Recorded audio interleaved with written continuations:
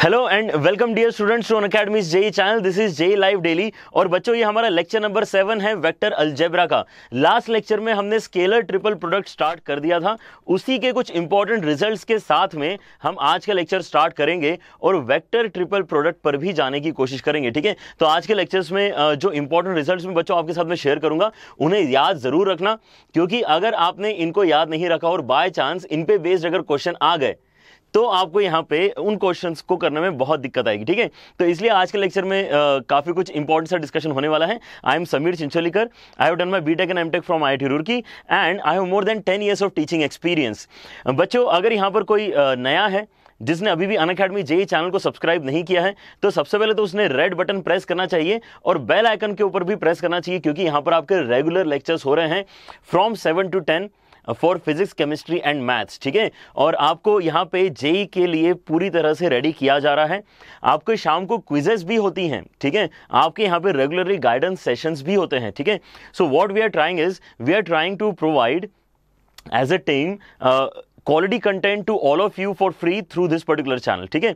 So make sure that you also spread the word है ना? Share this particular lecture and like this particular lecture and share it with the hashtag JEE live daily जो यहाँ पर हमारा series uh, का नाम है ठीक है? Uh, ताकि हम आपके पोस्ट को अच्छे से फॉलो कर पाएँगे ठीक है? On Facebook as well as on Instagram बच्चों अगर आप ये करोगे तो यहाँ पर जो हम मिशन को लेके आगे बढ़े हैं uh, जो रिवॉल्यूशन हम क्रिएट करना चाह रहे हैं वो ज़्यादा से ज़्यादा बड़ा हो पाएगा। और इंडिया में कोने कोने में बच्चों को क्वालिटी एजुकेशन मिल पाएगा फ्री ऑफ़ कॉस्ट ठीक है? So do spread the word अगर आपको लगता है कि आप हमारे साथ कुछ कन्वर्सेशन uh, करना चाहते हैं आपके अगर कुछ क्वेरीज हैं कुछ डाउट्स हैं then we all four are present on Telegram app Telegram app पर बच्चों हमारा एक अन अकेडमी जेई का ग्रुप भी है।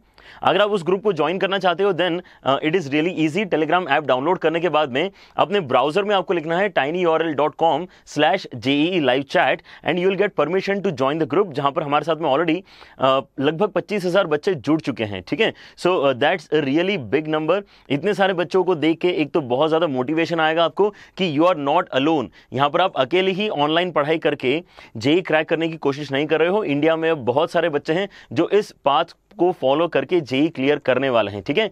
ऑल राइट और बच्चों, एक और इन्फॉर्मेशन क्योंकि आपको बच्चों इस पर्टिकुलर चैनल पर चीज़ें समझ में आ रही हैं, जो एक्चुअली एजुकेशन के लिए बना नहीं है।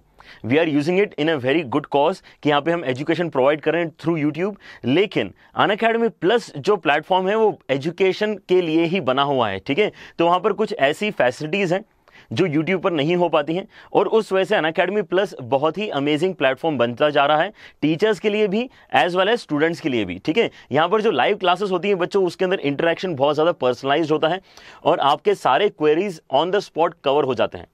साथ ही साथ यहाँ पर आपके डाउट क्लियरिंग के अलग से डेडिकेटेड लेक्चर्स होंगे और आपको यहाँ पे टेस्ट सीरीज़ अटेम्प्ट करने को मिलेगी। Computer based test series attend करने को मिलेगी एवरी संडे ठीक है? So that is a big plus अगर आप एक सिंगल सब्सक्रिप्शन लेते हो अन अकेडमी प्लस का you will get all these facilities and the best part is कि हम चारों टीचर्स के साथ साथ यहाँ पे इंडिया के और भी ऑसम टीचर्स पढ़ा रहे हैं। और उन टीचर से पढ़ने के लिए आपको कोई अलग सब्सक्रिप्शन नहीं लेना होगा। You will just subscribe to your goal और उस गोल को अचीव करने के लिए यहाँ पर जितने भी टीचर्स हैं जितनी भी फैसिलिटीज़ हैं वो सब आपके लिए ओपन हो जाएँगे and you are free to use that platform as as much as you can ठीक है? ऑल राइट और बच्चों यहाँ पे आपके जो कोर्सेज uh, चल रहे हैं इमर्ज इलेवंथ क्लास के बच्चों के लिए और इवॉल्व ट्वेल्थ क्लास के बच्चों के लिए यहाँ पर सारे ही सेशंस जो अभी तक हो चुके हैं वो आपको रिकॉर्डेड फॉर्मेट में मिलेंगे ताकि अब जो बच्चे ज्वाइन कर रहे हैं, उनका नुकसान ना हो और वो बहुत जल्दी अपना बैकलॉग कवर कर पाए। ठीक है? तो किसी भी बच्चे के मन में अगर ये बात है कि हम पीछे वाले जो लेक्चर्स हमारे छूट गए हैं उसका हम कैसे कवर अप करेंगे? देन वो अन अकेडमी प्लस पे बड़ी आसानी से बच्चे कर पाते हैं, ठीक है? ओके तो बच्चों, इसके लिए करना क्या होगा आपको? सबसे आसान होता है कि आप अन अकेडमी का लर्निंग ऐप डाउनलोड करो और उस ऐप में जाकर प्लस सेक्शन में अपने गोल मतलब आई जेई को सब्सक्राइब करो, ठीक है? आई जेई को जब आप सब्सक्राइब करने की कोशिश करोगे तो आपके पास में मल्टीपल ऑप्शन आएँगे। उन ऑप्शंस में से जो सबसे ज़्यादा अफोर्डेबल ऑप्शंस हैं, वो 12 मंथ एंड 24 मंथ सब्सक्रिप्शन हैं। ठीक है? You can go for lower subscription also लेकिन उस केस में थोड़ा सा आपको यहाँ पे अफोर्डेबिलिटी कम नज़र आएगी, ठीक है? यहाँ पर अन अकेडमी प्राइजेस काफ़ी कम रखी है। आप यहाँ पर देख सकते हो कि after you use JEE live code जो हमारी टीम का कोड है the price comes down to twenty seven thousand for one year ठीक है? एक साल तक आप यहाँ पे मल्टीपल टीचर्स के साथ में इंटरेक्ट कर पाओगे, ठीक है? यहाँ पर टेस्ट दे पाओगे, अपने डाउट्स क्लियर कर पाओगे, ठीक है? And all that will happen at this cost twenty seven thousand rupees ठीक है? तो अगर यहाँ पर कोई बच्चा देख रहा है जो सोचेगा कि 27,000 is something that we can afford then उसने ये फैसिलिटी ज़रूर यूज़ करनी चाहिए। This is the revolution that is going to change the way students are preparing for your JEE examination ठीक है? So you could be one of those students और यहाँ पर बच्चों, अगर आप एक्चुअली इसको इमेजिन करोगे then it is really really affordable क्योंकि यहाँ पर आपका पर डे का जो कॉस्ट है that is around fifty to sixty rupees अगर आप यहाँ पे कोई एक ऑफलाइन कोचिंग ज्वाइन करने की सोचोगे तो फिफ्टी सिक्सटी रुपीज़ तो आपको यहाँ पे आने जाने के ही शायद कॉस्ट लगती है, ठीक है? देन यू कैन अंडरस्टैंड कि यहाँ पे कितना ज़्यादा अफोर्डेबल प्राइस रखा गया है। All right and if you are in class eleventh then two years का जो सब्सक्रिप्शन यहाँ पे 24 मंथ का subscription it is even more affordable ठीक है? So go for these options ताकि आपको यहाँ पे लंबे समय तक मेंटरशिप uh, मिल पाए through all the teachers who are on academy plus ठीक है? ओके चलो तो बच्चों स्टार्ट करते हैं आज का डिस्कशन होमवर्क जो मैंने दिया था उसके साथ में uh, जो संडे को क्लास हुई थी उसके अंदर हमने ये होमवर्क के साथ में डिस्कशन uh, एंड किया था। हमने स्केलर ट्रिपल प्रोड का बच्चों डिस्कशन स्टार्ट कर दिया था। और यहाँ पर बोला क्या है? The value of a so that the volume of parallelepiped यहाँ पर ये जो पर्टिकुलर फिगर बनता है हमारा थ्री वाला, उसका वॉल्यूम कैसे निकलेगा?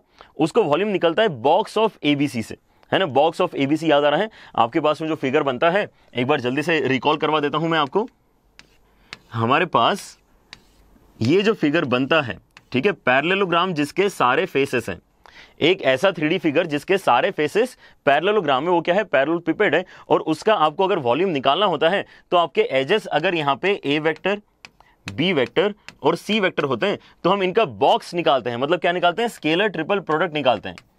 और आपके पास में वॉल्यूम का आंसर आ जाता है। साथ ही साथ हमने क्या बोला था? क्योंकि बॉक्स का आंसर निगेटिव भी आ सकता है तो हम इसके ऊपर मॉड लगा के चीज़ों को पॉजिटिव बना लेंगे। अगर हमारा आंसर पॉजिटिव नहीं आता है तो। ठीक है? तो यहाँ पर क्या दिया हुआ है? Value of a so that the volume of parallelepiped form by the by these vectors ठीक है? आपके पास में ये तीन वेक्टर्स गिवन है। क्योंकि आपके पास में यहाँ पे वेक्टर्स कंपोनेंट्स के फॉर्मेट में गिवन है तो हमें क्या पता होता है? बॉक्स का आंसर कैसे निकलता है? डिटर्मिनेंट की वैल्यू सॉल्व करके निकलता है। कौन सा डिटर्मिनेंट कोइफिशिएंट जो है हमारे पास, उनको यूज़ करके डिटर्मिनेंट बना लो। उसको सॉल्व करने से बॉक्स का आंसर निकल के आएगा। तो यहाँ पर आपके पास में बॉक्स एबीसी कितना होगा? चलो देखते हैं यहाँ पे। बॉक्स एबीसी हो जाएगा आपके पास में। डिटर्मिनेंट के अंदर पहला वाले का वैल्यू कितना है? आई के साथ में वन है, फिर जे के साथ में ए है और के के साथ में वन है। ठीक है तो आपके डिटर्मिनेंट की पहली रो कंप्लीट हो गई। यहाँ पर सेकंड वाले में आप देख सकते हो कि यहाँ पे आई वेक्टर है ही नहीं आई कैप है ही नहीं। इसका मतलब बेसिकली आई कैप का कोइफिशिएंट ज़ीरो है जे का वन है और के का ए है। और वैसे ही लास्ट वाले को देखो आई कैप के साथ में आपके पास में ए लिखा हुआ है, उसके बाद आपके पास में जे है नहीं तो ज़ीरो आएगा और के के साथ में वन लिखा हुआ है। इस चीज़ को सॉल्व करते हैं तो आपके पास में क्या आएगा? बॉक्स एबीसी का वैल्यू निकल के आएगा? लेटेस्ट सी कितना आएगा। ऐसे करते हैं, इसको डायरेक्टली सॉल्व कर लिया जाए। वन के साथ में क्या जा रहा है? प्रोडक्ट में वन ही जा रहा है। उसके बाद माइनस ए के साथ में क्या जा रहा है? प्रोडक्ट में माइनस ए स्क्वायर जा रहा है। और लास्ट वाला जो वन है, उसके साथ में प्रोडक्ट में क्या जाएगा? आपके पास में माइनस ए जाएगा। So you are getting a very simple expression which is a cube minus a plus one अब ये अगर आपका वॉल्यूम है बिकॉज़ बॉक्स एबीसी से आपको वॉल्यूम निकल के आ रहा है, अगर ये आपका वॉल्यूम है देन इन दैट केस आपको क्या करना पड़ेगा? आपको इसको मैक्सिमाइज करना है। और आपको वो वैल्यू ए की बतानी है, जिसके लिए ये मैक्सिमम निकल के आने वाला है। ठीक है? That is the thought here ठीक है? सॉरी मिनिमम निकल के आने वाला है। ऑल राइट मिनिमम निकल के आने वाला है। All right so let us reframe the question let us reread the question minimum यहाँ पर वैल्यू पूछी गई है। तो यहाँ पे मैक्सिमम मिनिमा का हमें बेसिक कंसेप्ट ऑलरेडी पता है। एप्लीकेशन और डेरिवेटिव्स हमने शुरू से लेकर एंड तक पूरा पढ़ा हुआ है। और ये कंसेप्ट तो बहुत ही बेसिक बन गया फिर तो। आपके उसमें जो वॉल्यूम लिखा हुआ है, वो ए के टर्म्स में लिखा हुआ है।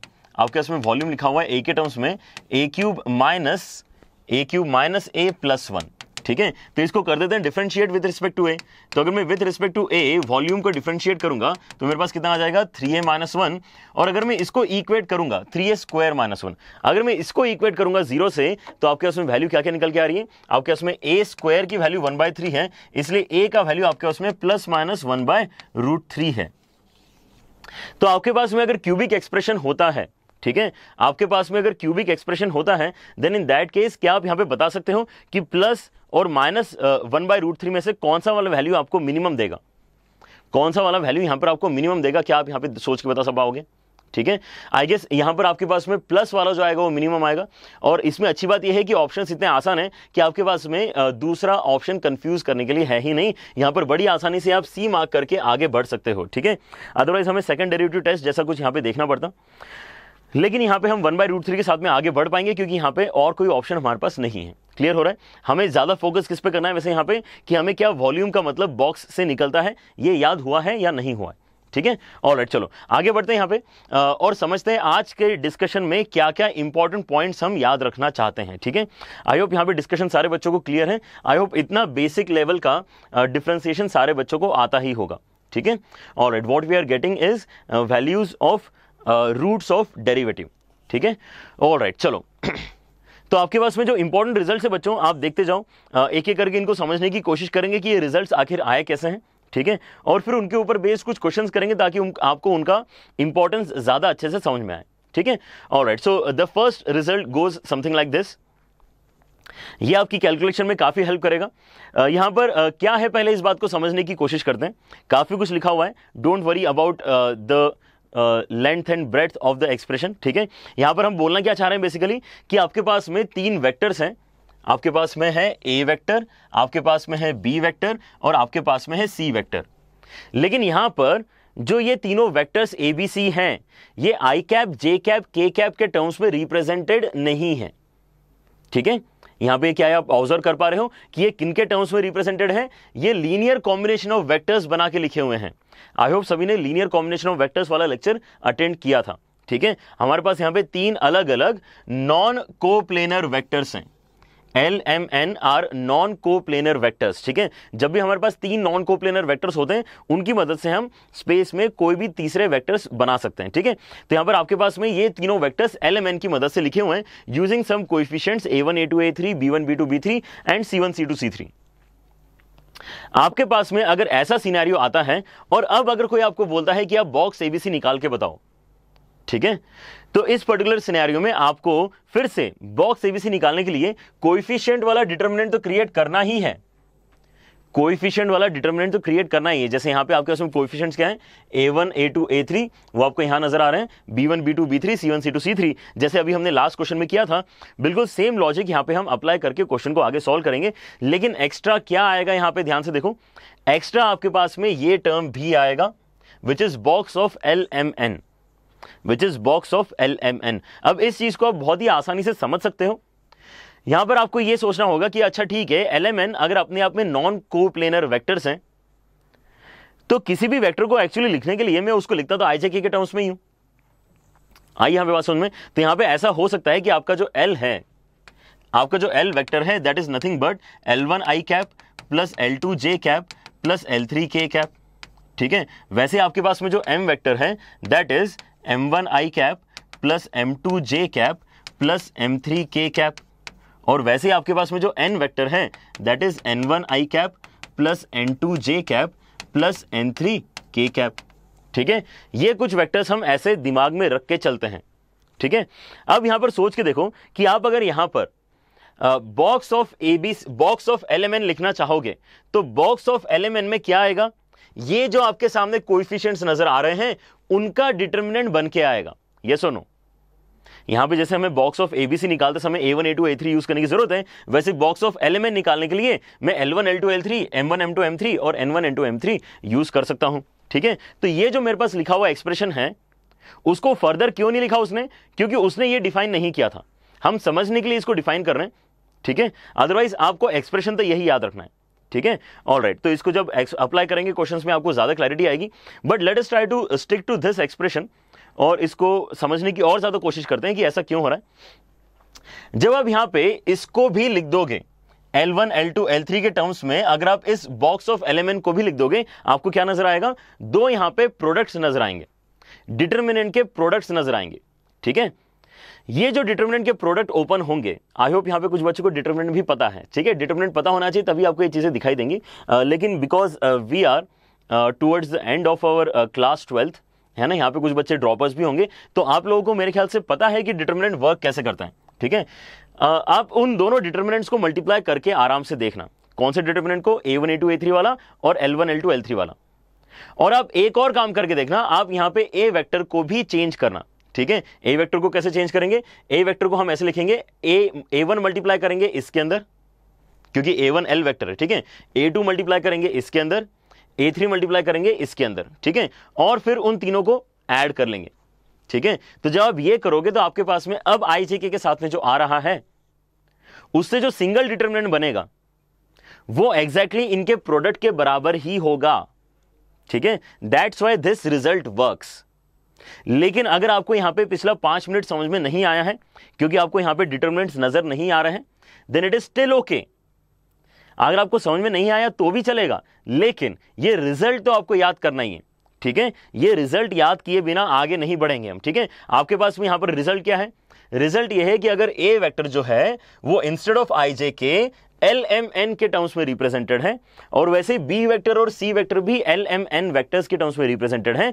तो आपको अगर कोई बॉक्स एबीसी निकालने के लिए बोलता है देन इन दैट केस जैसे आप कोइफिशिएंट का डिटर्मिनेंट बनाते हो, वो तो बना ही लो, लेकिन साथ में extra box of l m n भी लिखो। ठीक है? ये बेसिक रिज़ल्ट है।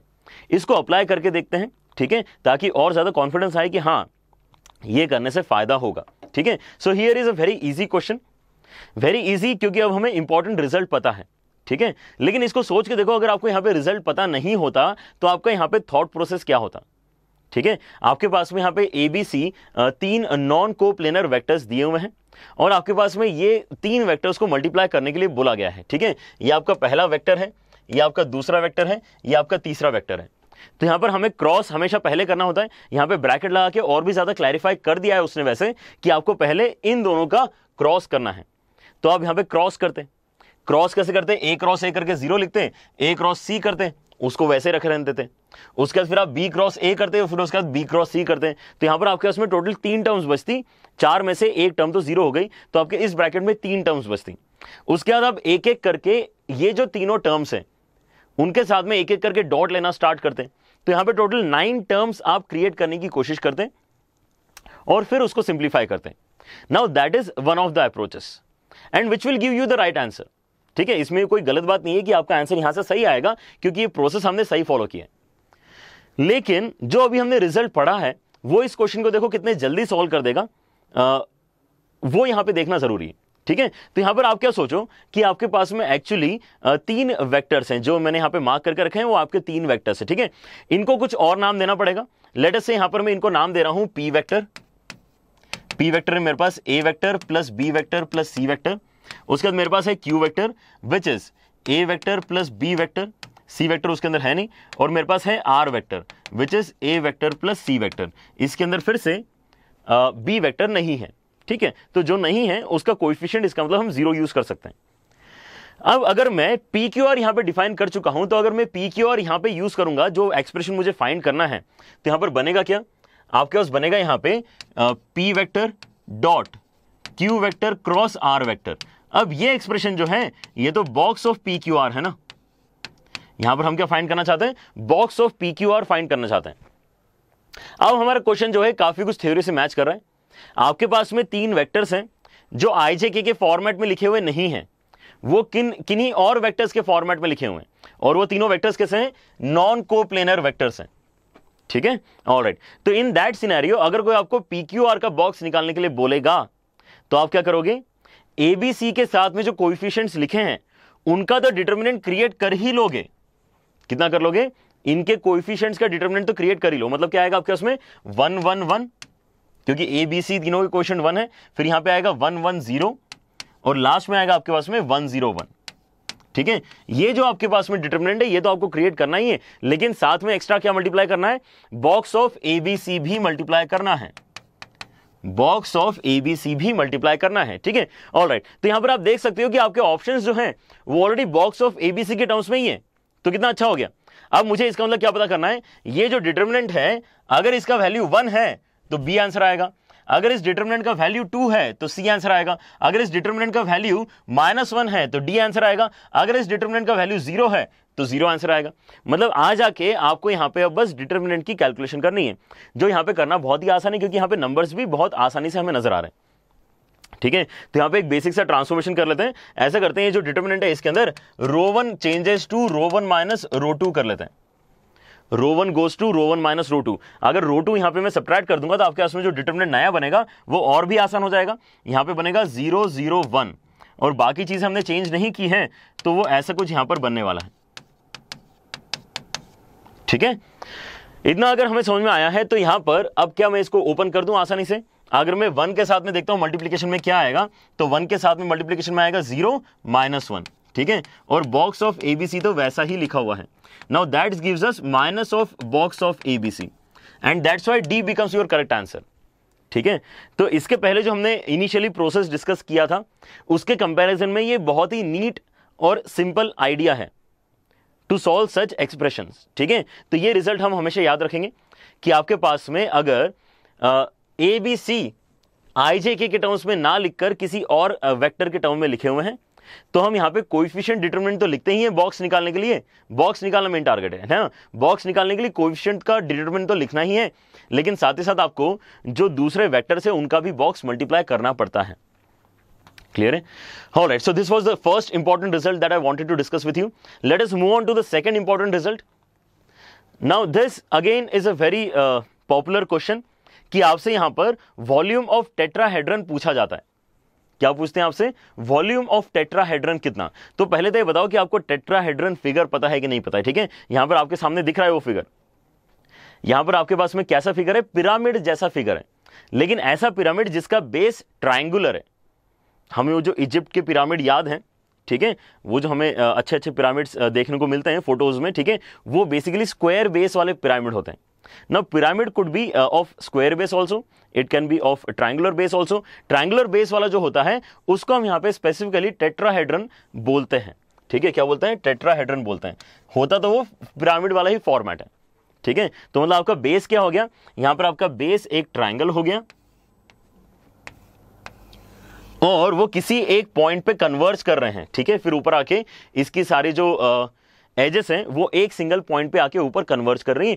ये आपका फिगर टेट्राहेड्रन हो गया। आपने केमिस्ट्री में ये ज़रूर सुना हुआ होगा, क्योंकि केमिस्ट्री में हम यहाँ पे मीथेन वगैरह के स्ट्रक्चर बता दें, वो टेट्राहेड्रल स्ट्रक्चर बताते हैं, जिसके अंदर बोलते हैं कि यहाँ पे जो चार कार्बन एटम्स सॉरी चार जो आपका हाइड्रोजन एटम्स है, वो वर्टाइसिस ऑफ़ टेट्राहेड्रन पे है। है ना? ऐसा कुछ तो आपको सिखाया होगा। तो वैसा ही कुछ यहाँ पे आपके सामने फिगर है, जिसका वॉल्यूम अब हम निकाल सकते हैं। Using the idea of vectors ठीक है? वेक्टर्स में भी स्पेसिफिकली बॉक्स ऑफ़ एबीसी की मदद से हम यहाँ पे निकाल सकते हैं, ठीक है? स्केलर ट्रिपल प्रोड का हम यहाँ पे डिस्कशन करना चाहते हैं। लेकिन उसके पहले हमें यहाँ पे जो बेसिक फॉर्मुला है वो पता करके रख लेना चाहिए, ठीक है? तो यहाँ पर कोई भी पिरामिडल स्ट्रक्चर जब होता है तो उसके फॉर्मुले का वैल्यू कैसे निकलता है? One third of area of base into height कैसे होता है? One third of area of base into height जैसे आपको यहाँ पे कोन कोन याद है? कोन में भी ऐसे कुछ करते हैं। One by three pi r square h. One by three pi r square. Pi r square क्या है? जो यहाँ पे सर्कुलर बेस है, उसका एरिया है। ठीक है? इंटू एच एच क्या होता है? कि कितना हाइट का वो कोन है। ठीक है? बिल्कुल उसी तरह से यहाँ पे आपके पास फिगर का वॉल्यूम निकल के आ रहा है। One third of a naught into h ठीक है? अगर हमने ये बेसिक आइडिया पता कर लिया कि पिरामिड का यहाँ पे या टेट्राहेड्रन का वॉल्यूम कैसे निकलता है then we can actually start analysing it using vectors तो राइट वाला फिगर बाद में देखते हैं। पहले लेफ़्ट वाले फिगर के ऊपर कंसंट्रेट करो। आपके पास यहाँ पर अगर एक पैरेललोपिपेड है, जिसके एजेस जो हैं, वो ए वेक्टर बी वेक्टर और सी वेक्टर है। कौन से वाले? को इनिशियल वेक्टर्स यहाँ पर आप बोल सकते हो। तीनों के तीनों वेक्टर्स यहाँ पे ओ पॉइंट से ओरिजिनेट हो रहे हैं। ठीक है? तो इसका जो वॉल्यूम है, ये हमें ऑलरेडी लिखते आता है। इसका वॉल्यूम कितना हो जाएगा? इसका वॉल्यूम हो जाएगा आपके पास में बॉक्स ऑफ़ एबीसी ये आज हमने एक होमवर्क क्वेश्चन में भी यूज़ किया था। ठीक है? अब यहाँ पर मैं आपको बोल रहा हूँ कि आप बस इतना सा सोचो कि आपके पास में इनिशियल पॉइंट ओ तो था ही, ठीक है? और आपके पास में तीन वेक्टर्स निकल रहे थे। तो ये तीनों वेक्टर्स जहाँ खत्म हो रहे हैं, अगर मैं उनको एंड पॉइंट्स मान के एक थ्री फिगर बनाने की कोशिश करूँ तो क्या होगा? ऐसा कुछ बनेगा। मैंने यहाँ पे सारे वर्टाइसेस कनेक्ट कर दिए, ठीक है? मेरे पास ओ ए ओ बी और ओ सी पहले से था। मैंने यहाँ पे बी सी बी ए और सी ए कनेक्ट कर दिए। तो आपके पास में यहाँ पर जो फिगर बना है that is actually a tetrahedron ठीक है? यहाँ पर आपके पास में जो फिगर बना है दैट इज़ अ टेट्राहेड्रन जहाँ पर आपका बेस क्या यहाँ पे आपको क्लियरली नज़र आ रहा है? आपका बेस कौन सा है? ये आपका ट्राइंगल वाला जो फिगर है, ये आपका टेट्राहेड्रन का बेस है। ठीक है? ऑलराइट और बाकी यहाँ पे साइड्स हैं। बाकी यहाँ पे तीन साइड्स हैं जो सी पॉइंट पे आके कन्वर्ज कर रही अब अगर हमें ये फिगर दिख गया है कि यार ये पैरल पिपेट के अंदर ही बना हुआ फिगर है, और स्पेसिफिकली यहाँ पर वेक्टर्स भी हमें पता है कि a vector b vector c vector ठीक है? तो अब यहाँ पे डीकोड करने की कोशिश करते हैं कि इसका टेट्राहेड्रन का वॉल्यूम कितना निकल के आना चाहिए। तो अभी अभी हमने क्या देखा है कि आपका जो वॉल्यूम होगा, वो कितना हो जाएगा? One third of area of base into height ऐसा कुछ होने वाला है। Area of base into height और अगर आप यहाँ पे पैरल पैरलो पिपेट का वॉल्यूम देखते हो तो वो क्या था? ये वॉल्यूम थोड़ा सा अलग था।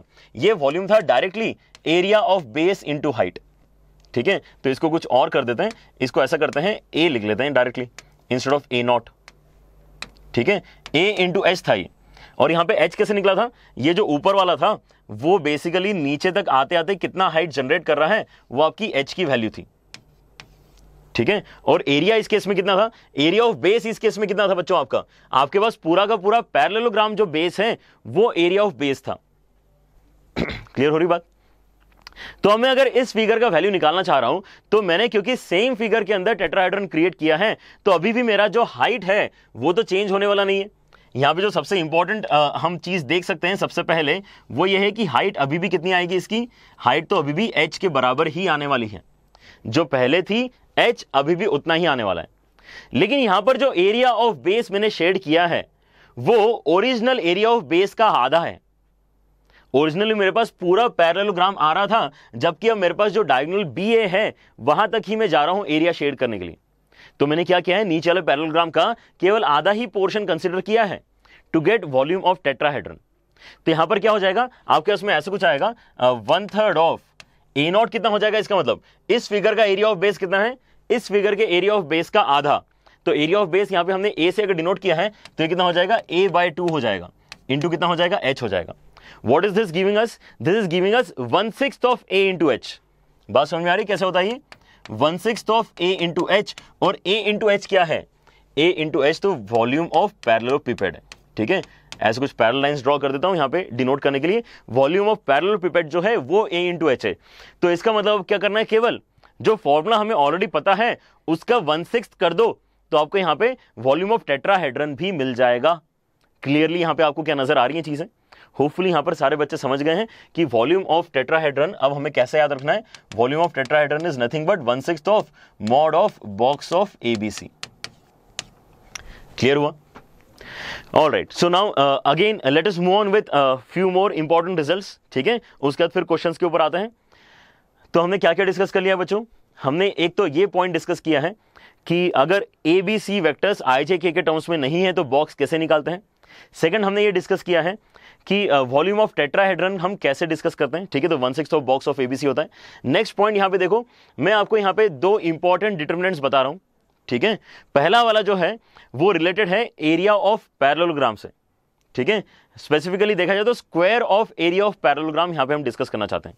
तो हमने जब पैरलोग्राम क्रिएट किया था, ठीक है? जब हमने पैरेललोग्राम क्रिएट किया था using A vector and B vector तो इसका ज्योमेट्रिकल अंडरस्टैंडिंग जो हमने लिया था वो ये था कि यार ए क्रॉस बी का जो मैग्नीट्यूड होता है, वो एरिया के ही बराबर होता है। ठीक है? अब यहाँ पर मैं करना क्या चाहता हूँ? ए क्रॉस बी का स्क्वायर यहाँ पे फाइंड करना चाहता हूँ। स्पेसिफिकली ए क्रॉस बी के मॉड का स्क्वायर यहाँ पे मैं फाइंड करना चाहता हूँ। तो वो जो आएगा आपके पास में कन्वीनियंटली लिखा जाता है इस पर्टिकुलर फॉर्मेट में विच इज़ कितना हो जाएगा? ए यहाँ पर थोड़ा सा क्लीन कर दिया जाए चीज़ों को।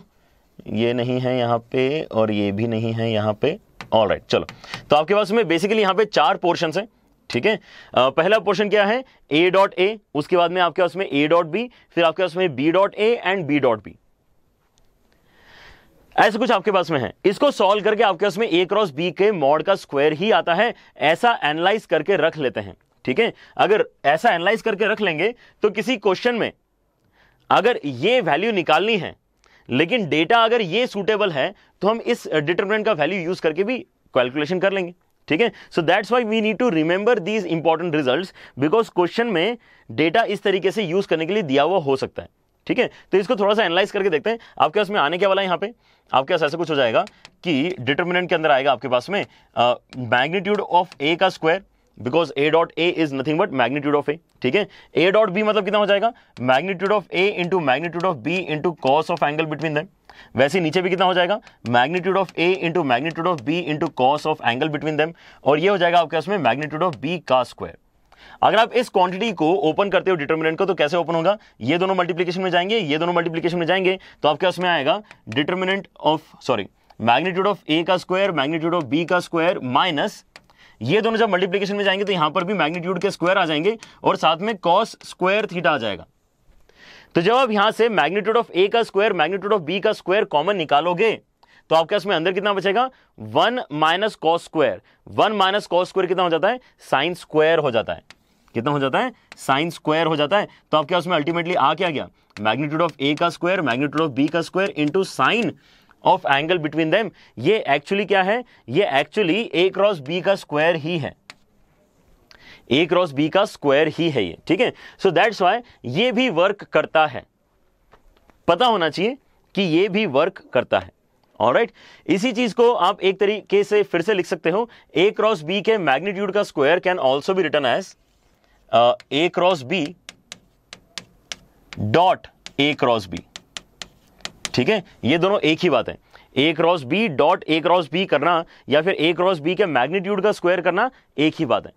ऑलराइट सो ये डिटर्मिनेंट हम याद रखेंगे। और ऐसा ही सिमिलर डिटर्मिनेंट और है बच्चों हमारे पास, जहाँ पे हम देख रहे हैं वॉल्यूम ऑफ़ पैरेललोपिपेड जो है उसका स्क्वायर कितना आता है? इसके पहले हमने क्या देखा था? एरिया ऑफ़ पैरेललोग्राम का स्क्वायर का वैल्यू कितना लिख सकते हैं? और वैसे हम फिर से देख रहे हैं वॉल्यूम ऑफ़ पैरेललोपिपेड का स्क्वायर का वैल्यू कितना लिख सकते हैं? तो यहाँ पर फिर से अगर आपको इसको देखना है कि हाँ ये सही बात है तो फिर से आपको डिटर्मिनेंट के बारे में थोड़ा सा ज़्यादा पता होना चाहिए। यहाँ पर डिटर्मिनेंट का प्रोडक्ट कैसे करते हैं, आपको पता होना चाहिए। ठीक है? एक बार कोशिश करके देखते हैं, लेकिन अगर किसी को डिटर्मिनेंट ज़्यादा पता नहीं है, तब भी उसने एटलीस्ट ये रिज़ल्ट तो भी याद रखना चाहिए। क्लियर है? कि आपको A dot A A dot B A dot C B dot A B dot B B dot C C dot A C dot B C dot C ये जो डिटर्मिनेंट है ये आपको क्या क्रिएट करके देता है? ये आपको वॉल्यूम ऑफ़ पैरलोपिपेड मतलब बॉक्स ऑफ़ एबीसी का स्क्वायर क्रिएट करके देता है।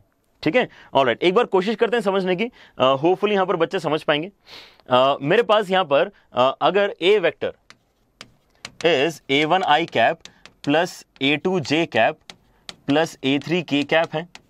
उसके बाद मेरे पास B vector B one I cap B one I cap plus B two J cap plus B three K cap है। और सी वेक्टर मेरे पास C one I cap plus C two J cap plus C three K cap है। ठीक है? तो अगर मैं आपसे बोल रहा हूँ यहाँ पे कि बॉक्स एबीसी का स्क्वायर निकाल के बताओ क्या निकाल के बताओ बॉक्स एबीसी का स्क्वायर निकाल के बताओ तो आप बोलोगे बॉक्स एबीसी हमको लिखते आता है, उसी चीज़ को मल्टीप्लाई कर लेंगे फिर से, ठीक है? तो यहाँ पर बॉक्स एबीसी का स्क्वायर कैसे लिखा जा सकता है? बॉक्स एबीसी का स्क्वायर हो जाएगा आपके पास में determinant A one A two A three B one B two B three and C one C two C three के साथ में मल्टीप्लीकेशन में जाएगा, यही same determinant A one A two A three B one B two B three and C one C two C three ठीक है? अच्छा अब अगर मैं आपको बताऊँ कि यहाँ पे डिटर्मिनेंट की ये प्रॉपर्टी है कि डिटर्मिनेंट का अगर मैं ट्रांसपोज कर देता हूँ तो भी यहाँ पर आपका रिज़ल्ट डिटर्मिनेंट का चेंज नहीं होता है then I guess you all should agree ठीक है? एटलीस्ट जिनको बच्चों को डिटर्मिनेंट की बेसिक प्रॉपर्टीज़ पता है, वो एग्री करेंगे। और एक्चुअली डिटर्मिनेंट तो एक्चुअली रो बाय कॉलम के साथ साथ रो बाय रो भी मल्टीप्लाई होते हैं, लेकिन क्योंकि हमें मेट्राइसिस जैसा मल्टीप्लीकेशन करने की ज़्यादा आदत है, इसलिए मैं यहाँ पे एक एक्स्ट्रा स्टेप कर रहा हूँ, जहाँ पर मैं आपको बता रहा हूँ कि आपके पास में ये सेकंड वाला डिटर्मिनेंट जो है वो कैसे बन सकता है? A one A two A three को चेंज नहीं कर रहा हूँ। ठीक है? लेकिन आगे वाले को मैं यहाँ पे चेंज करके ऐसे कुछ लिख रहा हूँ। जहाँ चेंज किया है, उसको अलग कलर से लिख देता हूँ मैं। आपके पास में ऐसा कुछ आ रहा है? A one A two A three नीचे। B one B two B three column में आ गए। और वैसे C one C two C three column में आ गए। ठीक है? इन दोनों को अब हम मल्टीप्लाई करके देखना चाहते हैं। जब मल्टीप्लाई करेंगे तो आपके पास में एक सिंगल डिटर्मिनेंट यहाँ पे जनरेट होगा। वो डिटर्मिनेंट क्या है, हम उसके ऊपर डिस्कशन करना चाहते हैं। ठीक है? वो सिंगल डिटर्मिनेंट यहाँ पर क्या बनने वाला है? तो आपके पास में यहाँ पर डिटर्मिनेंट में क्या क्या आएगा? कैसे कैसे मल्टीप्लाई होती हैं चीज़ें? आपके पास में फ़र्स्ट रो मल्टीप्लाई होता है फ़र्स्ट कॉलम के अंदर। फ़र्स्ट रो मल्टीप्लाई होता है फ़र्स्ट कॉलम के अंदर तो यहाँ पर बनेगा क्या? A one square plus A two square plus A three square A one square plus A two square plus A three square उसके बाद क्या करेंगे? फ़र्स्ट रो सेकेंड प्लेस वाला वैल्यू निकालने के लिए इसको मल्टीप्लाई करेंगे अगले वाले कॉलम में। तो क्या बनेगा? A one B one A two B two A three B three A one B one A two B two plus के साथ में एंड प्लस के साथ में ए थ्री बी थ्री ठीक है? उसके बाद में एक और आएगा आपके पास में। एक और क्या आएगा? जब आप इसको मल्टीप्लाई करोगे, आगे सी वाले के साथ में। तो सी वाले के साथ में जब मैं मल्टीप्लाई करूँगा तो होगा क्या आपके पास में? A one C one A two C two and A three C three तो आई गेस यहाँ पर सारे बच्चे समझ पा रहे कि मेरे पास जगह नहीं है तो मैं लिख तो नहीं पाऊँगा, लेकिन शायद ये फील आ रही है आपको कि ये जो वैल्यूज़ हैं, वो एक्चुअली क्या है? अगर आप वो फील ले पाए हो तो आई गेस यहाँ पे हम केवल ओरली कैलकुलेशन देख के जो एक्चुअल वैल्यू होनी चाहिए, वो लिखना स्टार्ट कर सकते हैं। जैसे आपके पास में अगर A one A one A two A two A three A three लिखा हुआ है मतलब आपने बेसिकली ए को ए के साथ में डॉट किया होगा, तभी तो ये बना होगा। A one A one A two A two A three A three कब बनेगा? जब आप ए को ए के साथ में डॉट करोगे, तब बनेगा। ये मैग्नीट्यूड ऑफ़ ए का स्क्वायर ही तो है। मतलब ये एक्चुअली ए डॉट ए जैसा लिखा जा सकता है। वैसे ही A one B one A two B two A three B three A one B one A two B two A three B three कब बनेगा? जब आप ए और बी को डॉट करोगे, तब बनेगा। और वैसे ही हमारा जो लास्ट यहाँ पे बनने वाला था, जिसके लिए हमारे पास जगह नहीं थी, वो क्या था? A one C one A one C one A two C two and A three C three तो यहाँ पर आना क्या चाहिए? आपके पास में ए डॉट सी एक्चुअल इसका एक्सप्रेशन बनना चाहिए। ठीक है? और वैसे ही बाकी सारे कॉलम्स भी आप फिल करके देख सकते हो। इस बार आप सेकंड वाला उठा लो। सेकंड वाला रो उठा लो और एक एक करके सारे कॉलम्स में मल्टीप्लाई करो। तो बनेगा क्या आपका? बी वन ए वन अब बी वन ए वन बनाए तो उसको लिखने के लिए आप बी डॉट ए लिख सकते हो। वैसे उसकी वैल्यू ए डॉट बी के बराबर है, लेकिन अब यहाँ पे लिखना है, अगर बहुत ही अच्छे से तो आप बी डॉट ए लिखो उसको। ठीक है? नेक्स्ट आपके पास क्या बनेगा? B one B one B two B two and B three B three मतलब क्या है? दोनों के दोनों हमने बी वेक्टर को ही डॉट कर दिया। तो यहाँ पर आपके पास में बी डॉट बी आएगा यहाँ पर बी डॉट सी आएगा और उसी तरह से देखोगे तो C dot A C dot B and C dot C आएगा। ये रिज़ल्ट हमें याद रखना ही है। ये रिज़ल्ट हमें याद रखना ही है। क्लियर हो रहा है? ओके okay, एक बार फिर से रिज़ल्ट को देख लेते हैं। हमने यहाँ पे थोड़ा सा कोशिश किया लिखने का। आई होप यहाँ पे बच्चे समझ पाए हैं उस बात को, ठीक है? मैं एक्चुअली ये सारा लिख के इसलिए दिखा रहा हूँ, क्योंकि आपको पता होना चाहिए कि इसको निकालना कोई बड़ी बात नहीं थी, ठीक है? आप इसको एक्चुअली ओरल ही करके देख पा रहे थे डिटर्मिनेंट मल्टीप्लीकेशन अगर आपको करते आता है then these things are really easy to understand but moreover important point is to remember these ताकि आपको यहाँ पे क्वेश्चन में दिक्कत ना आए, ठीक है? तो आपके पास में ए बी सी के बॉक्स का स्क्वायर किसके बराबर होता है? A dot A A dot B A dot C B dot A B dot B B dot C and C dot A C dot B C dot C वाले determinant के बराबर होता है। ठीक है? ओके तो यहाँ पर हमने फिर से और एक इंपॉर्टेंट रिज़ल्ट पढ़ा है, जिसकी मदद से एक क्वेश्चन ट्राई करते हैं, जो यहाँ पे एक्चुअली 2008 के पेपर में आया भी है। इसका मतलब अगर आपने बहुत सारा वेक्टर्स पढ़ लिया, लेकिन आज के लेक्चर में जो हम यहाँ पे इंपॉर्टेंट कंसेप्ट डिस्कस कर रहे हैं, अगर आपने वो मिस आउट कर दिए तो इस तरह के क्वेश्चंस आपके छूट सकते हैं एग्ज़ाम में ठीक है? So don't take these result lightly ये बहुत ही इंपॉर्टेंट है। इनको आपको याद रखना ही है। क्या बोला गया इस क्वेश्चन में? इस क्वेश्चन में बोला गया है कि edges of a parallelepiped are unit length यहाँ पर जो सारे लेंथ है uh, उस फिगर के वो तो वन यूनिट के ही है and are parallel to non coplanar vectors A vector B vector C vector तो इसका मतलब मेरे पास A cap B cap C cap जो है फिगर uh, में आना चाहिए। मेरे पास एक पैरल पिपेड है। जिसके को टर्मिनस एजेस में यहाँ पे मान सकता हूँ। A vector sorry A cap B cap and C cap ठीक है? ऑल राइट अगर ये फिगर मेरे पास आता है such that A dot B B dot C C dot A is equal to half then the volume of parallelepiped कितना होगा? अब यहाँ पर हमें पता है यार वॉल्यूम ऑफ़ पैरल पिपेट का वैल्यू निकलता कैसे है? वो तो बॉक्स ऑफ़ एबीसी से निकलता है, ठीक है? तो हमारा आंसर होना हो बॉक्स ऑफ़ एबीसी है। लेकिन आपके पास में डेटा जिस तरीके से दिया हुआ है आपका प्रीवियस नॉलेज आपको हेल्प नहीं करेगा टू गेट द आंसर यहाँ पर आपके पास में बॉक्स ऑफ़ एबीसी लिखने का तरीका क्या है? A one B one A one A two A three B one B two B three C one C two C three यहाँ पर लेकिन अब आपके पास में ए बी सी जो है, वो कंपोनेंट्स के फॉर्मेट में दिए हुए हैं ही नहीं. तो अब यहाँ पे कंपोनेंट के फॉर्मेट में जो डिटर्मिनेंट बनता है, वो क्रिएट ही नहीं कर सकते. प्रॉब्लम समझ में आ रही? ठीक है? और वैसे ही, अगर आप यहाँ पे दूसरा डेफिनेशन देखते हो, कि दो का क्रॉस करके तीसरे के साथ में डॉट करूँगा जो हमने बिल्कुल इनिशियली पढ़ा था, ठीक है? जिसके अंदर साइन थीटा कॉस फाइव आता है। वो भी नहीं लग पाएगा क्योंकि आपके पास में यहाँ पे वैसा भी डेटा अवेलेबल नहीं है। आपके पास में जो डेटा अवेलेबल है, वो क्या है? दो दो वेक्टर्स का डॉट अवेलेबल है, ठीक है? अब दो दो वेक्टर्स का डॉट वाला रिज़ल्ट एक्चुअली क्या है? एक ए बी सी का बॉक्स नहीं है, वो ए बी सी के बॉक्स का स्क्वायर है, ठीक है? एबीसी के बॉक्स का स्क्वायर कितना आता है? ए डॉट ए ओहो, एक बार फिर से लिख देता हूँ। आपके पास में आता क्या है? ए डॉट ए फिर A dot B A dot C उसके बाद B dot A B dot B and B dot C उसके बाद C dot A C dot B and C dot C ये आपको एक्चुअली लिखते इस क्वेश्चन में आएगा और इसी की वजह से ये क्वेश्चन अभी सॉल्व हो पाएगा। ठीक है? तो हमारे पास A dot A B dot B C dot C इस पर्टिकुलर केस में कितना आएगा? क्योंकि आपके पास में ये सारे यूनिट वेक्टर्स हैं। एक्चुअली लिखना क्या चाहिए था मैंने? कैप के साथ में लिखनी चाहिए थी सारी चीज़ें। लेकिन आई गेस यहाँ पे आप समझ जाओगे मेरी फीलिंग्स को कि यहाँ पे मैं कैप ही लिखना चाह रहा था। ठीक है? आपके पास में ए डॉट ए कितना आने वाला है? वन आने वाला है। बी डॉट बी कितना आने वाला है? वन आने वाला है। सी डॉट सी कितना आने वाला है? वन आने वाला है, क्योंकि यहाँ पे मैग्नीट्यूड का स्क्वायर मैग्नीट्यूड का स्क्वायर मैग्नीट्यूड का स्क्वायर यूनिट वेक्टर्स होने की वजह से आपके जो मैग्नीट्यूड्स हैं वो वन के बराबर है। तो डायगनल के ऊपर तो आपका वन आने वाला है। आपके पास और क्या डेटा दिया है? आपके पास में जो डेटा दिया है such that edges of parallel unit length and are parallel to non coplanar vectors this such that this this this then the volume of the parallel तो यहाँ पर A dot B A dot B का value डालते हैं इसके अंदर. A dot B का value half आएगा, यहाँ हाफ़ आएगा, यहाँ हाफ़ आएगा. सब जगह हाफ़ आ गया. वैसे यहाँ पर भी हाफ़ आ गया. तो हमारा डिटर्मिनेंट कंप्लीट हो गया. मतलब हमें जो निकल के आएगी वैल्यू वो क्या होगी? बॉक्स एबीसी के स्क्वायर की वैल्यू होगी, उसके बाद अंडर रूट ले लेंगे तो आंसर आ जाएगा. ठीक है? So things are easy now हमारे पास में यहाँ पे बॉक्स एबीसी का जो स्क्वायर बन रहा है, वो डिटर्मिनेंट सिंपल सा है, one one one half half half and half half half ये सॉल्व करके हमारे पास आंसर आ जाना चाहिए। अब इसको सॉल्व करने के अलग अलग तरीके हो सकते हैं। आप ये तो डायरेक्टली इसको यहाँ पे क्या करो? डायरेक्टली इसको ओपन करना स्टार्ट कर दो। या फिर आपको अगर यहाँ पे प्रॉपर्टीज़ पता है तो आप प्रॉपर्टीज़ का यूज़ करके कुछ यहाँ पे कर सकते हो। यहाँ पे सिंप्लीफिकेशन के लिए प्रॉपर्टीज़ में सजेस्ट करूँगा। और मैं उम्मीद कर रहा हूँ कि कुछ बच्चे यहाँ पे प्रॉपर्टीज़ ही प्रिफर करते होंगे। जैसे कि मैं क्या सजेस्ट कर रहा हूँ यहाँ पे कि ऐसा करो कि ऐसा करो कि आप ये कर लो। Row one goes to row one plus row two plus row three आप अगर ये ट्रांजिशन करते हो, अगर आप ये ट्रांसफॉर्मेशन करते हो तो आपके पास में नया डिटर्मिनेंट क्या बनेगा?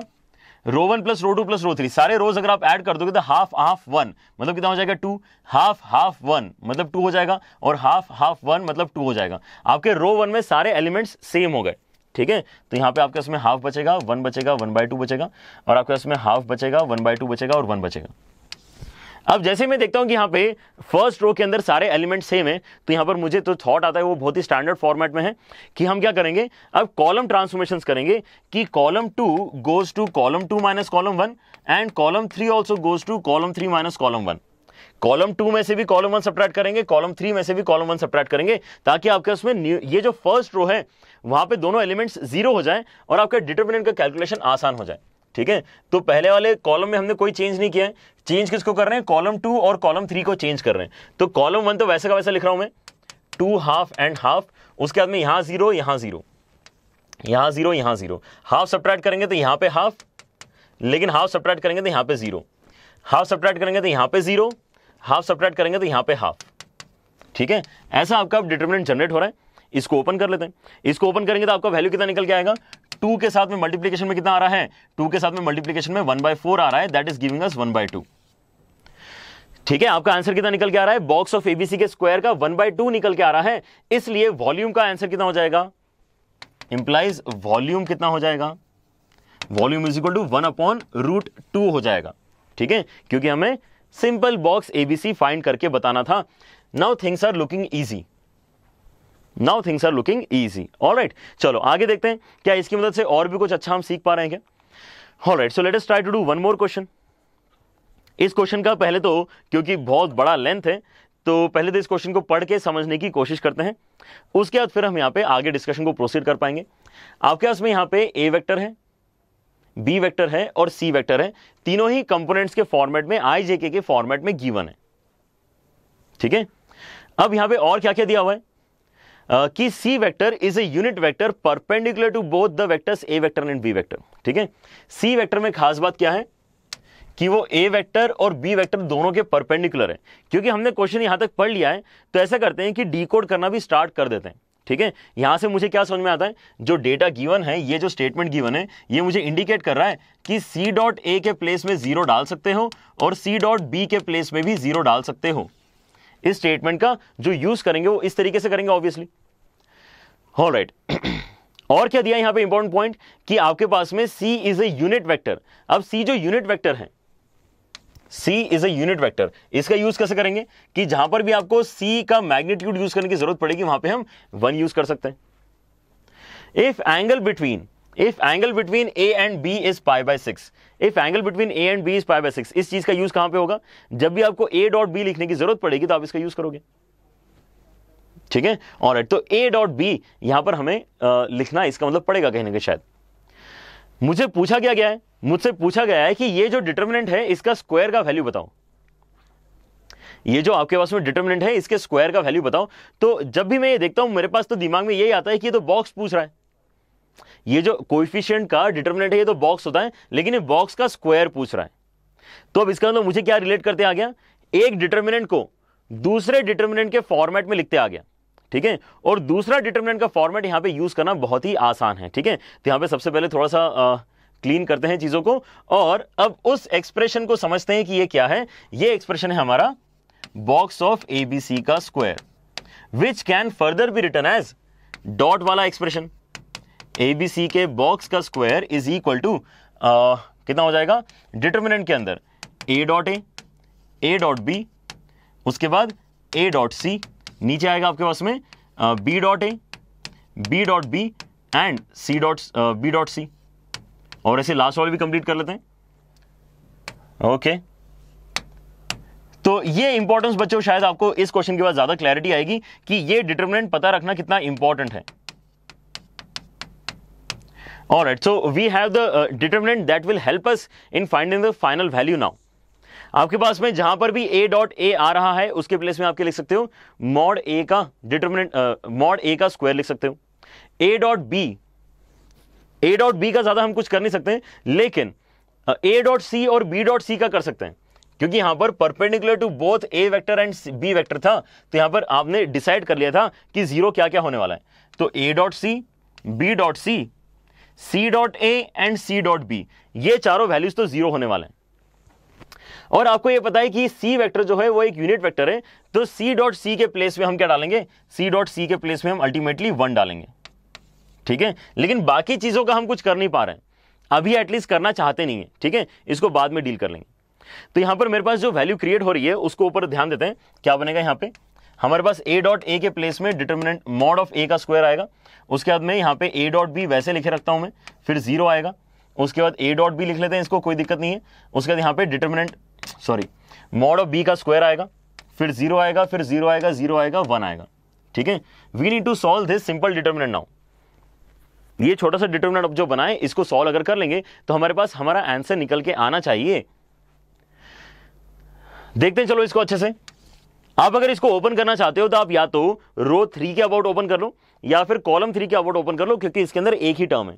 तो मैं लेटर से रो थ्री के अबाउट ओपन कर रहा हूँ। तो वन के साथ मल्टीप्लीकेशन में कितना आएगा? वन के साथ मल्टीप्लीकेशन में आएगा इन दोनों का प्रोडक्ट माइनस इन दोनों का प्रोडक्ट तो इन दोनों का प्रोडक्ट कितना है? मैग्नीट्यूड ऑफ़ ए का स्क्वायर मैग्नीट्यूड ऑफ़ बी का स्क्वायर ऐसा आएगा।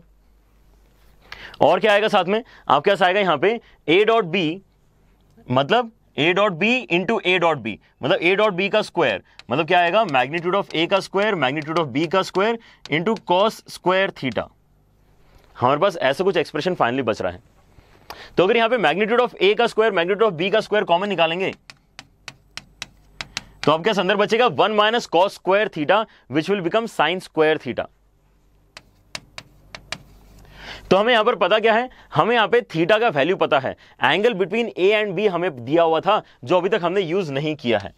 तो अगर मैं थीटा का वैल्यू 30 डिग्रीज यहाँ पे यूज़ करूँगा तो मेरे पास कितना आ जाएगा? वन बाय टू का square which is one by four so what we want final answer to be is one fourth of magnitude of A का square into magnitude of B का स्क्वायर मैग्नीट्यूड ऑफ़ ए का square into magnitude of B का square क्या अब ये दोनों values हम ऊपर से देख के लिख सकते हैं? क्योंकि हमें A one A two A three components पता है तो मैग्नीट्यूड ऑफ़ ए का स्क्वायर कितना हो जाएगा? A one square plus A two square plus A three square और वैसे ही मैग्नीट्यूड ऑफ़ बी का स्क्वायर कितना हो जाएगा? B one square plus B two square plus B three square यहाँ पे आपके पास में फिर फाइनल रिज़ल्ट ढूँढने लायक एक्सप्रेशन आ चुका है इसका मतलब ठीक है? तो आपके पास फिर से ऑप्शन देखे जाए क्या है? ये आपके पास में चार ऑप्शन थे तो यहाँ पे मेरे पास में ये वाला ऑप्शन जो है बिल्कुल करेक्ट नज़र आ रहा है विच इज़ सी ठीक है? So that's how we are now able to solve these question very easily I hope यहाँ पे सारे इंपॉर्टेंट रिज़ल्ट जो हम डिस्कस कर रहे हैं वो आप याद रखोगे और इनको क्वेश्चंस में अगर ज़रूरत पड़ती है तो टाइमली यूज़ भी कर पाओगे। Uh, i think uh, we are done with the important result part. Uh, now the next part that we want to understand is vector triple product. Vector triple product इसका discussion हम करना चाहते हैं। Uh, जैसे हमने start किया था triple product का डिस्कशन ठीक है? तो हमने ये बोला था यार ट्रिपल प्रोडक्ट एक्चुअली हम कर रहे हैं अगर तीन वेक्टर्स का प्रोडक्ट कर रहे हैं तो दो तरीके से किया जा सकता है। है ना? फाइनल रिज़ल्ट हमें स्केलर मिले या फिर फाइनल रिज़ल्ट हमें वेक्टर मिले। तो अब यहाँ पे फाइनली हम डिस्कस कर पाएँगे कि यार वेक्टर फाइनली हमें आंसर कैसे मिल सकता है। ठीक है? तो आपके पास में अगर ए बी सी तीन वेक्टर्स हैं। नो वेक्टर ट्रिपल प्रोडक्ट की थ्योरी बहुत छोटी है। ठीक है? आपने अगर बस इन रिजल्ट्स के एक्सप्रेशंस भी पता कर लिए तो आपको यहाँ पे क्वेश्चंस बेसिकली करना स्टार्ट करना है फिर उसके बाद में। क्लियर है? So let us try to understand कि यार ये जो क्रॉस uh, प्रोडक्ट हो रहे हैं और वेक्टर आंसर फाइनली निकल के आ रहे हैं उनका सिंप्लीफाइड एक्सप्रेशन क्या होना चाहिए? जो यूजेबल फॉर्मेट वाला एक्सप्रेशन है वो यहाँ पे क्या होना चाहिए ठीक है? That's what we are targeting now तो आपके आपके पास में यहाँ पे A vector B vector C vector है। आर थ्री वेक्टर्स देन इनका वैल्यू कितना होना चाहिए? Uh, तो ये पहली बात सोचते हैं कि ये भी वेक्टर ट्रिपल प्रोडक्ट का करेक्ट एक्सप्रेशन है। ये भी वेक्टर ट्रिपल प्रोडक्ट का करेक्ट एक्सप्रेशन है। लेकिन इन दोनों के आंसर्स अलग अलग आएँगे। इन दोनों के आंसर्स अलग अलग आएँगे। These are not equal vectors ठीक है? These are entirely different vectors बहुत ही ज़्यादा अलग आंसर्स यहाँ पे निकल के आने वाले हैं। लेकिन ये भी वेक्टर ट्रिपल प्रोडक्ट है और ये भी वेक्टर ट्रिपल प्रोडक्ट है। डिफरेंस क्या है बस यहाँ पे? पहले ब्रैकेट बी और सी पे लगाए बाद में ब्रैकेट ए और बी पे लगाए। ठीक है? That is the only difference all right so let's try to decode I think this one है ना? ये uh, हमारे पास uh, ऐसे करते हैं। Uh, दो पार्ट्स में इसको कर लेते हैं। दूसरे वाले को पहले करते हैं। ठीक है? So what you want to understand is कि ये वैल्यू कितनी होगी? फ़र्स्ट वाली वैल्यू कितनी होगी? Which is A cross B cross C का वैल्यू कितना निकल के आना चाहिए? सो आई गेस यहाँ पर हम ऐसा कुछ करने की कोशिश करेंगे। या आपको समझने में ज़्यादा आसान पड़े इसलिए ऐसा करते हैं। uh, पहले वाला एक्सप्रेशन इसी को माना कर चलते हैं ठीक है? जिस ऑर्डर में लिखा हुआ है उसी ऑर्डर में चलते हैं। ताकि आपके नोट्स भी यहाँ पे अच्छी तरह से बने रहेंगे। ये हमारा फ़र्स्ट पोजिशन भी लिखा है, इसको फ़र्स्ट बोल देते हैं, इसको सेकंड बोल देते हैं, ठीक है? और तो हम करना क्या चाहते हैं? यहाँ पे A cross B cross C का फाइनल रिज़ल्ट कैसे दिखना चाहिए, वो यहाँ पे हम सोचना चाहते हैं।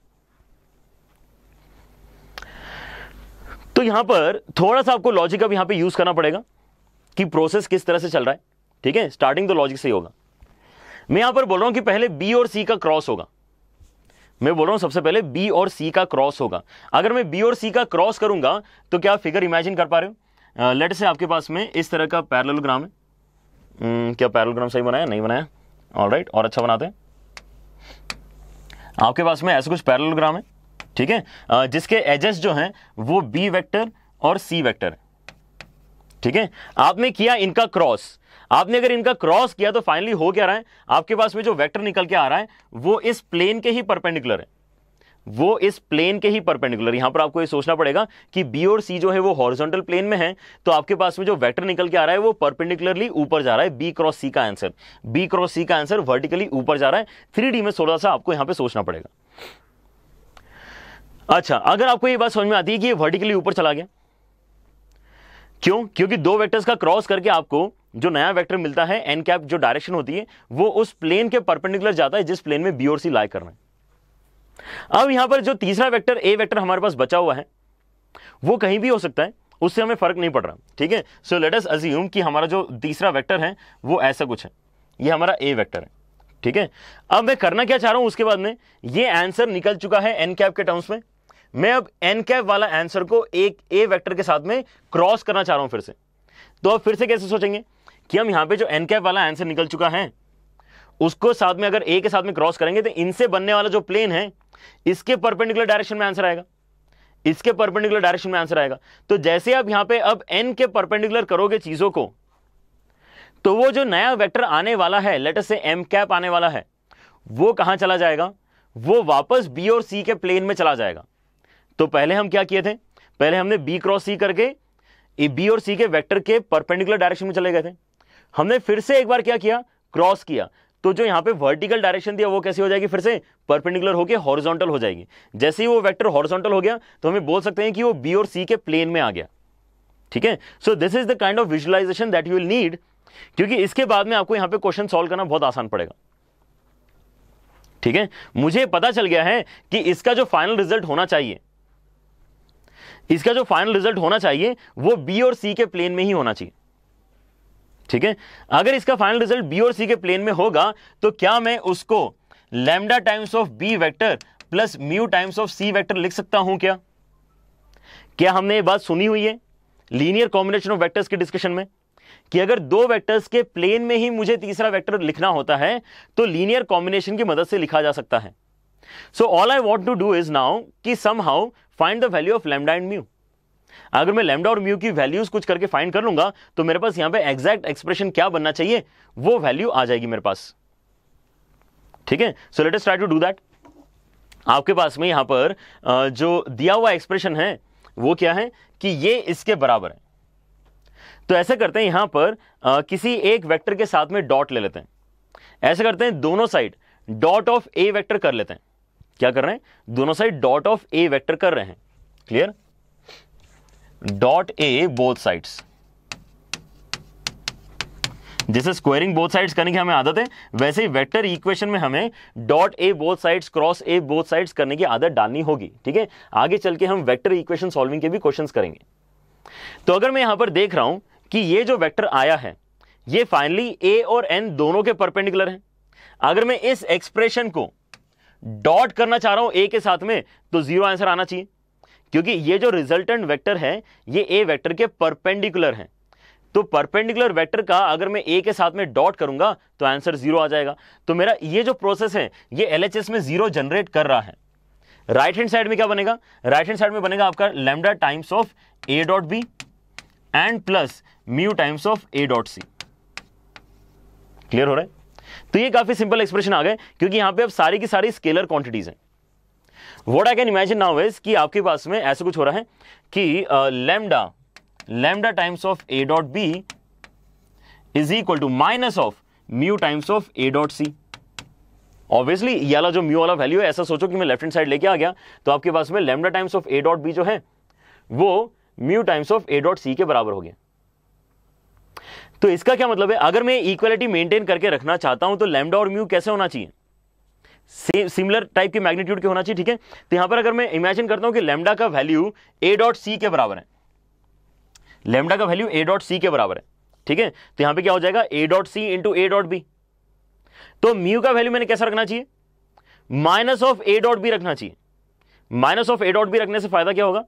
कि आपके पास में यहाँ पर भी क्या हो जाएगा? A dot B into A dot C create हो जाएगा। So we want to create the same expression so what I am thinking is कि यहाँ पे आपके पास में लेमडा और म्यू किस तरह से होने चाहिए? तो लेमडा अगर आपके पास में ए डॉट सी है लेमडा आपके पास में अगर ए डॉट सी है what we are concluding is if lambda is equal to A dot C then mu should be is equal to minus of A dot B ठीक है? और यही एक्सप्रेशन की एक्चुअल वैल्यू आती है। यहाँ पर आप ये मान सकते हो कि lambda is equal to alpha times of A dot C हो सकता है सर और mu is equal to minus of alpha times of A dot B हो सकता है।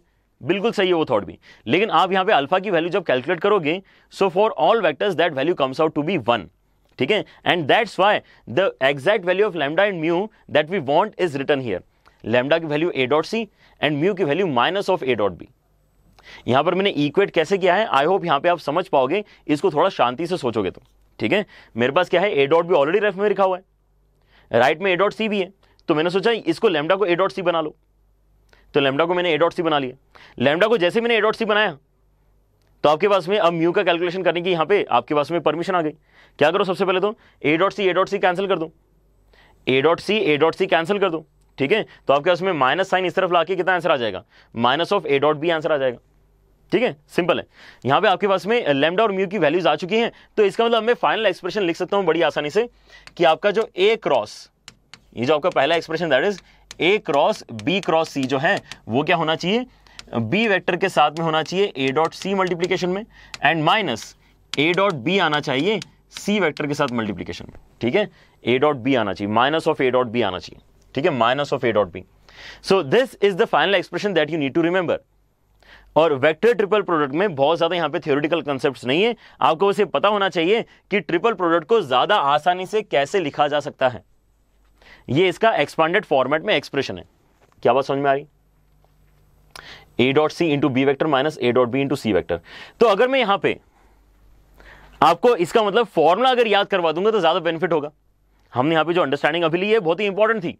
लेकिन क्वेश्चन में अल्टीमेटली अगर इस एक्सप्रेशन का यूज़ करके आंसर निकलने वाले हैं then let us try to remember this formula once and for all है ना? यहाँ पर देखो आपके पास में आंसर कैसे निकल के आते हैं। आप यहाँ पे देखो कि लाइन से तीन वेक्टर्स लिखे हुए हैं। ब्रैकेट किसके ऊपर लगा है, वो इंपॉर्टेंट नहीं है। यहाँ पे लाइन से तीन वेक्टर्स लिखे हैं, सबसे पहले आपने वो देखना चाहिए। ब्रैकेट को बाद में इंपॉर्टेंस देंगे। तो यहाँ पे बीच वाला वेक्टर कौन सा है? बी वेक्टर है। तो इसका मतलब आपका जो फाइनल आंसर है, वो बी वेक्टर के साथ में स्टार्ट होगा। ठीक है? This is how you need to remember नहीं तो यहाँ पे प्लस माइनस की दिक्कत हो जाएगी। यहाँ पर तीनों में से जो बीच में लिखा हुआ है, वहाँ से आपका आंसर स्टार्ट होगा। ठीक है? ऑल राइट अब यहाँ पर हमें पता है कि ये जो फाइनल आंसर है, ये ब्रैकेट में जो वेक्टर्स लिखे हुए हैं उनके को प्लेनर होता है। उसमें से आपने एक तो ऑलरेडी लिख दिया है। तो दूसरा वाला कौन सा होगा? जो ब्रैकेट में दूसरी क्वांटिटी बची हुई है, वो आपको बाद में लिखना है। जो ब्रैकेट के अंदर दूसरी क्वांटिटी लिखी हुई है, वो आपको बाद में लिखना है। तो यहाँ पर बी वेक्टर और सी वेक्टर पिक्चर में आ चुके हैं। अब इनके कोइफिशिएंट्स क्या होते हैं? कोइफिशिएंट्स पहले वाले का कितना हो जाएगा? पहले वाला बी निकालना है। बी का कोइफिशिएंट अगर निकालना है तो बाकी दोनों का डॉट करो। और अगर सी का कोइफिशिएंट निकालना है तो बाकी दोनों का डॉट करो। जो बचे हुए हैं, उनका डॉट करके आपके पास में यहाँ पे फाइनल रिज़ल्ट आ जाता है। क्लियर हो रही बात? है इस तरह से अगर आप यहाँ पे फॉर्मुले को समझते हो, याद रखते हो तो आपको कभी भी ऐसा नहीं लगेगा कि यहाँ पे हम कहीं साइन का मिस्टेक तो नहीं कर रहे हैं। कि हम यहाँ पे सही चीज़ें डॉट कर रहे हैं? है ना? क्या हमने यहाँ पे कोफिशिएंट सही लिखे आपको ऐसा कभी भी दिक्कत नहीं आएगी। फिर से एक बार बोल के दिखाता हूँ मैं आपको। तीन वेक्टर्स लाइन से लिखें बीच वाले वेक्टर को पहले लिखो। ब्रैकेट में जो दूसरा वेक्टर है, उसको बाद में लिखो। ठीक है? बीच में माइनस का साइन तो आएगा ही। बीच में माइनस का साइन तो आएगा ही। ठीक है? अब आपके साथ में कोइफिशिएंट्स क्या है, ये पता करना है। तो आपके साथ में बी वेक्टर का कोइफिशिएंट कितना आएगा? बी वेक्टर का क्वेश्चन निकालना है तो बाकी दोनों जो बचे हैं, उनका डॉट कर लो। और सी वेक्टर का क्वेश्चन कितना आएगा, अगर ये सोचना है तो सी वेक्टर को अलग कर दो, बाकी दोनों जो बचे हैं, उनका डॉट लिख दो। इस तरह से हम इस फॉर्मुले को अच्छे से याद रख सकते हैं, ठीक है? और वैसे ही, हमारे पास एक और रिज़ल्ट है, जिसके अंदर bracket actually A cross B के ऊपर लगा हुआ है, ठीक है? अब आप मेरे ख्याल से ज़्यादा अच्छे से इसको डायरेक्टली भी लिख पाओगे। यहाँ पर मैं क्या बोलूँगा कि क्योंकि ब्रैकेट ए क्रॉस बी के ऊपर लगा हुआ है तो यहाँ पे पहले हमने ए क्रॉस बी किया। मतलब हम ए क्रॉस बी मतलब ए और बी के परपेंडिकुलर गए। फिर उसके बाद कोई तो वेक्टर आया था, लेकिन सी के साथ हमने फिर फिर से क्रॉस कर दिया। तो उसका जो रिज़ल्ट आया वो फिर से कहाँ चला गया? ए और बी के प्लेन में चला गया।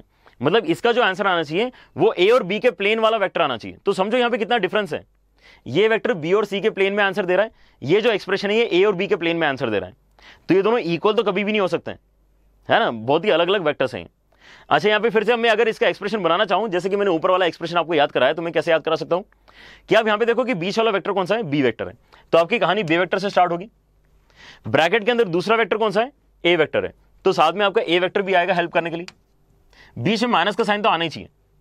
ठीक है? अब बी वेक्टर का अगर आपको कोइफिशिएंट लिखना है तो कितना लिखोगे? बी वेक्टर का कोइफिशिएंट हो जाएगा आपके पास में ए डॉट सी ठीक है? और ए वेक्टर का कोइफिशिएंट कितना हो जाएगा आपके पास में? बी डॉट सी ठीक है? These two result are the only theoretical concept involve in vector triple product ठीक है? और सो आई गेस आज के लेक्चर में हम इतना ही रखते हैं। आप सब बच्चों, पहले तो आज के लेक्चर में जो मैंने आपको इंपॉर्टेंट पॉइंट्स बताए हैं, उनका अच्छे से रिवीजन करो। उन पे बेस्ड अगर आपको और भी क्वेश्चंस मिल रहे तो उनको ट्राई करो। ठीक है? आपके अगर कोई डाउट्स रहे थे वेक्टर वेक्टर अल्जेब्रा में तो उनको देखो एक बार कि कहीं वो इंपॉर्टेंट रिज़ल्ट की वजह से तो नहीं आ रहे थे आपको करते। ठीक है? देर इज़ ए पॉसिबिलिटी कि आपके जो डाउट्स हैं वो इन इंपॉर्टेंट रिजल्ट्स की वजह से अटके हुए थे। ठीक है? Try to do those doubts once again and यहाँ पर हमारे पास जो क्वेश्चंस करने की यहाँ पर अभी थोड़ा सा टाइम क्योंकि नहीं है so we can actually do this questions in our next lecture ठीक है? बट अंटिल देन अगर आपको लग रहा है कि यहाँ पे सब कुछ बढ़िया चल रहा है तो इसी तरह से क्लासेस अटेंड करते रहो। लेकिन अगर यूट्यूब पे हम इतने अच्छे से पढ़ पा रहे हैं तो आप सोचो जो platform Unacademy plus education के लिए बना है, उसके ऊपर कितने अच्छे से आपको बातें समझ में आएँगी। ठीक है? यहाँ पर टीचर्स वही हैं। है ना? लेकिन आप टीचर्स के साथ में अगर ज़्यादा अच्छे से इंटरेक्ट कर पाओगे, क्योंकि वो सिस्टम बहुत अच्छा है तो आपको कंसेप्ट बहुत अच्छे समझ में आता है। लेकिन और अच्छा बेनिफिट क्या है यहाँ पे? कि डेडिकेटेड डाउट डिस्कशन सेशन हो रहे हैं बच्चों प्लस के ऊपर, और आपको हर हफ़्ते टेस्ट देने को मिल रहा है ताकि आप अपना परफॉर्मेंस यहाँ पे जज कर पाओ। ठीक है? और ये सब बच्चों आप कर सकते हो केवल 50 से 60 रुपए पर डे यहाँ पे स्पेंड करके, ठीक है? Use the code J live whenever you try to subscribe ठीक है? एक साल का अगर आप सब्सक्रिप्शन लोगे तो ट्वेंटी सेवन थाउज़ेंड में आपको यहाँ पर मिलेगा विच इज़ क्वाइट अफोर्डेबल लेकिन आपको अगर ऐसा लग रहा है यार कि ये प्राइस भी ज़्यादा है and I can understand that क्योंकि इंडिया में बहुत ही वेरीड फाइनेंशियल बैकग्राउंड के बच्चे होते हैं, ठीक है? तो आपको अगर ये लग रहा है कि हम अफोर्ड कर सकते हैं, तब तो आपने कभी भी ये मिस आउट नहीं करना चाहिए, ठीक है? क्योंकि इससे आपका रैंक इंप्रूव पक्के से होगा। लेकिन अगर आपके लिए सिलेक्शन इंपॉर्टेंट है, आपके लिए बस सिलेक्शन इंपॉर्टेंट रैंक उतनी ज़्यादा इंपॉर्टेंट नहीं है then whatever we are doing here is also sufficient आप यहाँ पे रैंक भी बहुत अच्छी ला सकते हो, लेकिन उसके लिए आपके साइड से डेडिकेशन भी उतना ही ज़्यादा चाहिए। क्योंकि जो बच्चे प्लस के ऊपर आ चुके हैं, उनको ऑलरेडी एडिशनल बेनिफिट्स मिल रहे हैं, ठीक है? उनके कंपैरिजन में आपको फिर मेहनत ज़्यादा करनी पड़ेगी, ताकि आप उनके बराबर लैंक रान लाइक बन जाओ, ठीक है? So make sure that you are practicing daily after the lectures on Unacademy JEE channel ठीक है?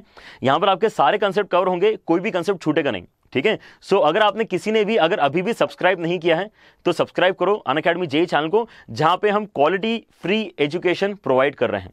ठीक है? और यहाँ पर बेल आइकन प्रेस करोगे तो आपके कोई भी लाइव लेक्चर्स बच्चों मिस नहीं होंगे। And we would really appreciate कि अगर यहाँ पर बच्चे हमारी हेल्प कर पाएँगे इस मूवमेंट को आगे बढ़ाने में। And if they can share this particular session with the hashtag JE Live Daily on their social platform, social media platforms, Facebook and Instagram, ठीक है? We will also be able to uh, follow these uh, students, ठीक है? हम देख पाएँगे कि यहाँ पर कौन बच्चे हमारी uh, यहाँ पर uh, मदद करना चाहते हैं और इस मूवमेंट को आगे बढ़ाना चाहते हैं ठीक है? और हर बार की तरह बच्चों आपको नोट्स अवेलेबल होंगे डिस्क्रिप्शन बॉक्स में so do download the notes keep them with you ताकि आपको यहाँ पर रिविजन करते समय टाइम थोड़ा सा बच जाए ठीक है? और सो आज के लिए इतना ही बच्चों टेक केयर बाय बाय